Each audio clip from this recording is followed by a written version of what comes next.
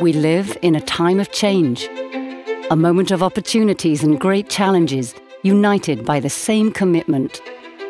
As management evolves, we build our future day by day.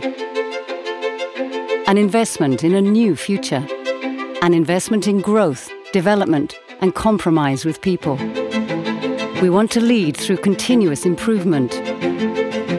Challenge new thoughts. Inspire tomorrow's leadership. Have an impact on what is important. Vidrala Horizon is a new horizon. Together, we can experience and develop unique strengths, shape the future.